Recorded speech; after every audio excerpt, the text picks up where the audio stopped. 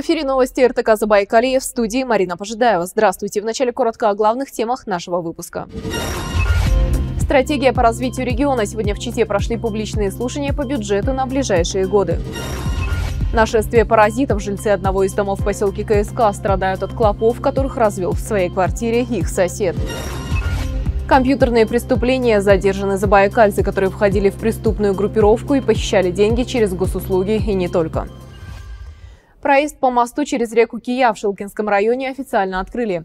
Рабочие обустроили лестницы, береговые и промежуточные опоры, сделали монтаж балок, уложили два слоя асфальта. Работы закончили в срок. Их общая стоимость около 390 миллионов рублей. Дорога Могойtu-Сретенск-Колычина, которая находится до моста, она входит в опорную сеть э, Забайкальского края. Не просто в опорную сеть Забайкальского края, а в опорную сеть Российской Федерации.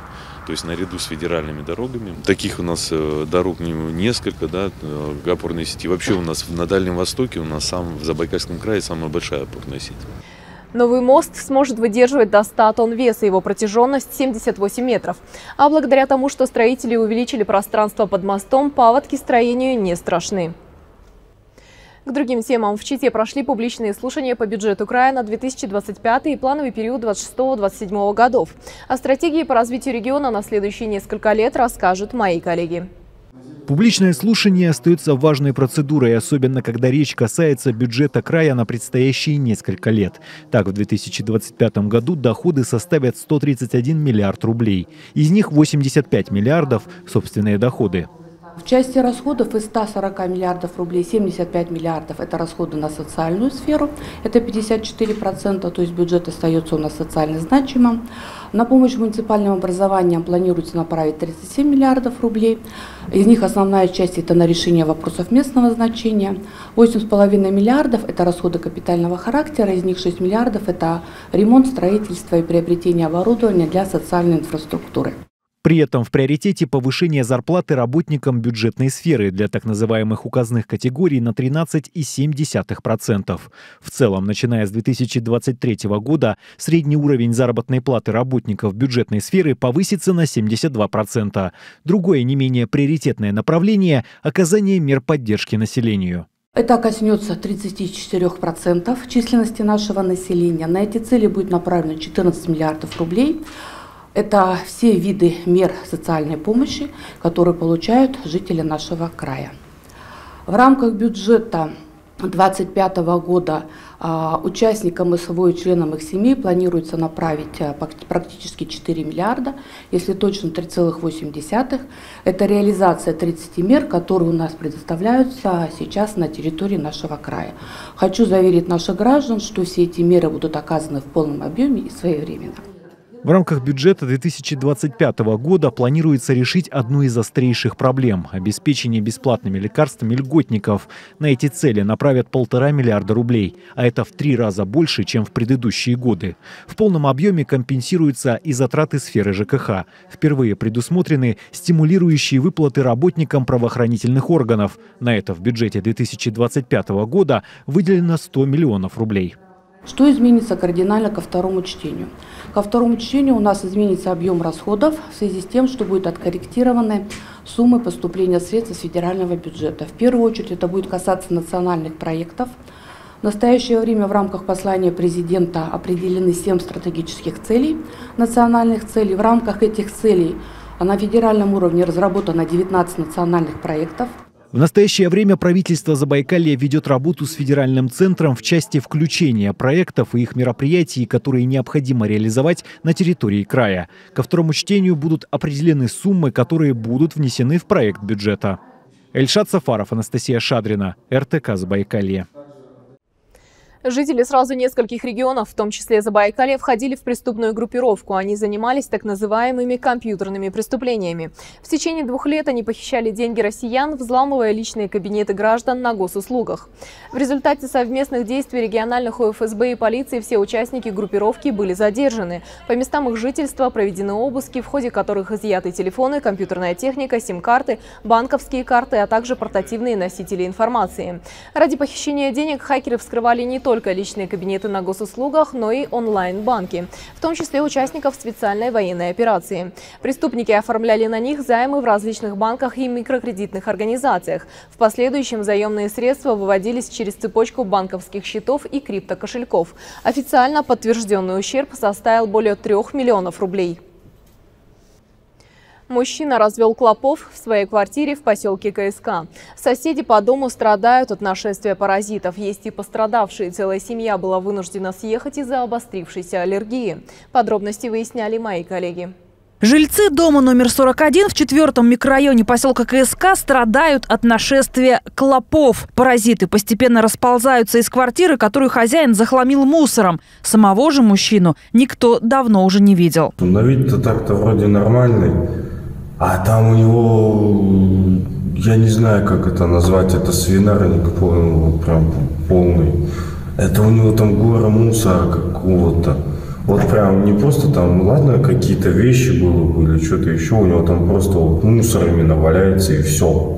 Было видно, что он прям домой несет пакеты с мусором, что-то вроде этого? Нет, такого-то не было заметно. Да его самого тоже редко было видно. Я его последний раз видел-то где-то в августе, наверное, или в июле.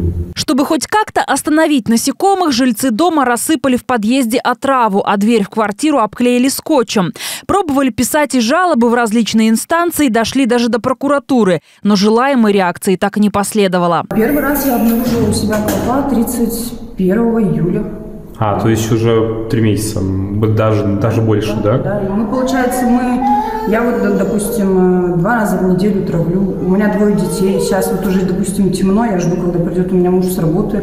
Мы это все травим по темноте на улице, сидим, ждем, пока тут маленечко потравится. Потом пока проветрится. Детей пока у меня не тронули. У меня кусали мужа. Муж был накусан. А вот у соседки, вот она вообще к родственникам уехала, потому что у нее детей накусали. И у них началась аллергия, она вызывала дезинфекцию. У них потом началась аллергия, ей пришлось вообще съехать. В управляющей компании, которая обслуживает этот дом, в курсе о вредителях. Но в ближайшее время браться за дезинфекцию никто не планирует. Но они же завели с квартиры, надо начинать с очага, а потом уже мы возьмем подвал и подъезды. То есть, получается, обработка э, подъездов, подвала будет после того, как очаг будет устранен, да? Да, туда просто попасть никто не может. У него номер недоступен, найти его никто не может. Департамент выехал опечатали его дверь и все, все, что они сделали. Указали номер телефона, чтобы когда хозяин появится, они связались с ним. Жильцы опасаются, кроме зуда и раздражения в месте укуса, клопы могут заразить человека такими опасными заболеваниями, как бруцеллез, гепатит Б, сибирская язва, брюшной тиф и чума. Комментарий в Краевом центре обслуживания и содержания казенного имущества на момент выпуска сюжета получить не удалось, но мы продолжим держать эту тему на контроле. Дарья Пьяникова, Данил Ботвинский, РТК Забайкалье. Дозаправить боевую технику за считанные секунды военнослужащие Восточного военного округа во время учения пробировали новейший бронированный автотопливозаправщик. Этот образец, поступивший на вооружение в соединение и воинские части ВВО, отличается емкостью цистерны в 8 тысяч литров. Выдача горючего осуществляется через счетчик учета. При этом водитель дозаправщика и перевозимое топливо надежно защищены. Кабина водителя и сама цистерна бронированные. Специалисты службы горючего четко знают свое дело, ведь все нормативы отрабатываются на занятиях по специальной подготовке. Свои навыки они готовы применить как на учениях, так и в боевой обстановке. Это еще не все новости на сегодня. Смотрите далее в нашем выпуске. Санджадай Хурал. Буддисты молятся Будди Шакьямуни и просят здоровья для родителей. Африка в Забайкалье. В Краеведческом музее открылась необычная выставка. Экспонаты изучили мои коллеги. «Мама, пойдем домой». Сегодня в нашей постоянной рубрике «Мальчик Дима», который мечтает обрести любящих родителей.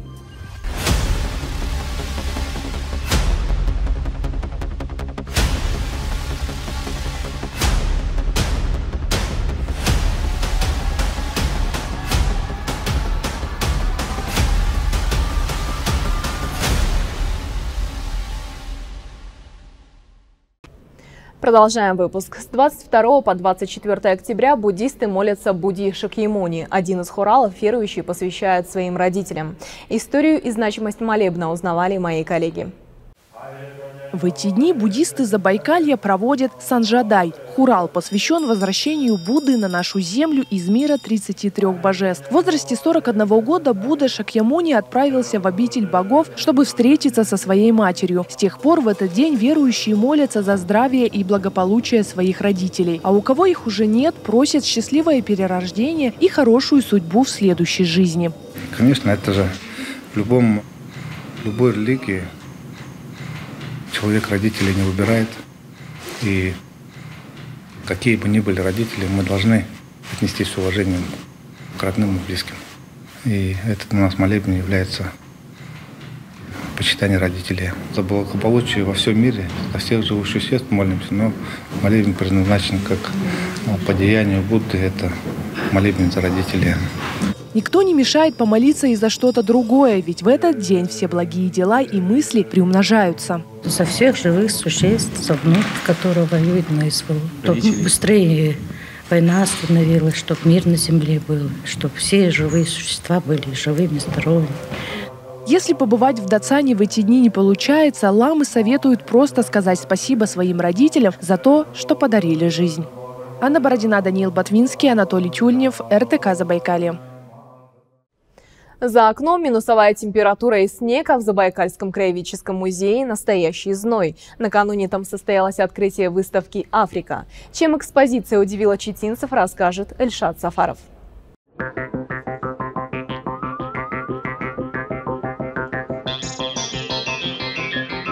Африка. Такая необычная, удивительная и такая одна в Чите сегодня прямиком из Новосибирска. С 2012 года специалисты Новосибирского краеведческого музея собрали более 300 экспонатов. Это предметы быта, ритуальной культуры народов Западной и Центральной Африки. Впервые выставка приехала и в Забайкальский край.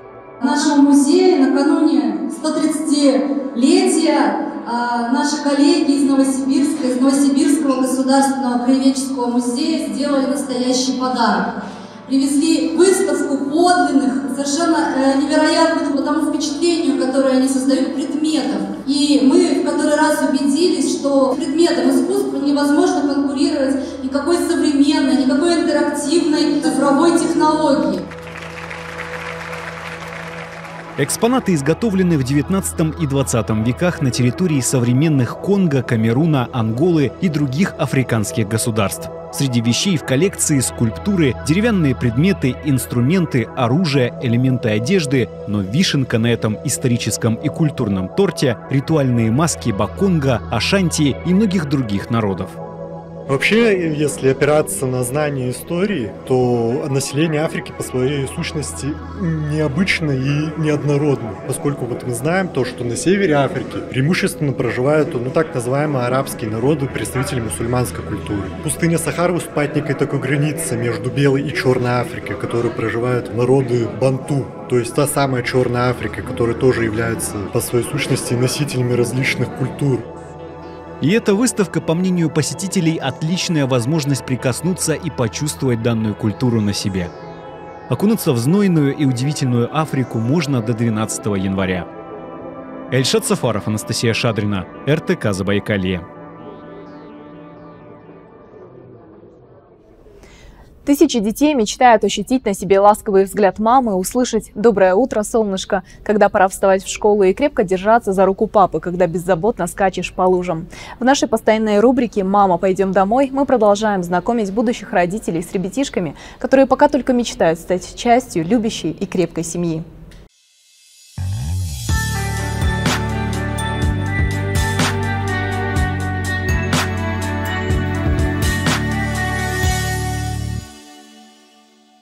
Димочке всего два года, и только совсем недавно он начал делать свои первые шаги.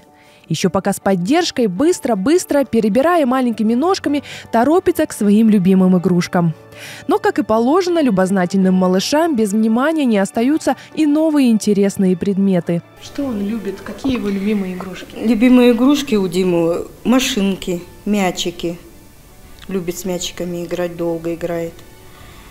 Кубиками играет – вы уже можете сказать, например, когда он вырастет, кем он может стать? Может стать строителем. потому что в кубике строят кубиками хорошо. Микрофончик тебе понравился. Вот такой вот. Может быть, ты будешь журналистом? Может. При встрече с нашей съемочной группой Дима постеснялся показать все свои таланты. Однако, как говорят воспитатели, мальчик очень активный и, несмотря на особенности здоровья, старается изучить этот мир, насколько это возможно. Семья, в которых Дима так нуждается, поможет ему развить его самые лучшие качества. А в ответ он подарит маме и папе свою безграничную любовь. Какая ему семья нужна? Вот э, что он привнесет в семью? Семья ему нужна, чтобы любили его, будет радовать семью. Помощь нужна ему, ну, от семьи.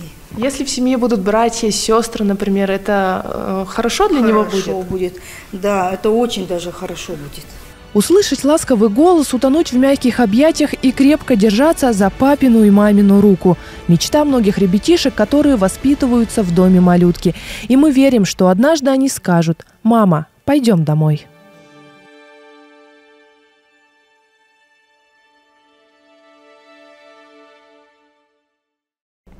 Это все, о чем мы хотели рассказать вам сегодня. Подписывайтесь на нас в Телеграм и других социальных сетях. Если вы стали очевидцем чего-то необычного, сами стали героем непростой истории, вам нужна помощь и вы не знаете, куда обратиться, звоните в нашу редакцию по телефону 21 7503.